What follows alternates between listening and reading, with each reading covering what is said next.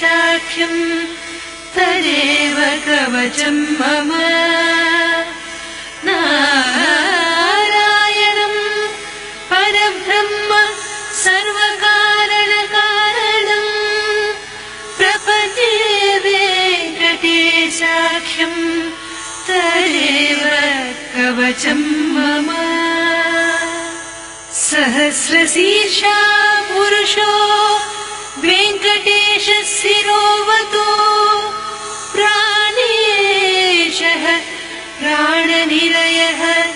प्राणम् रक्षतु मे हरिः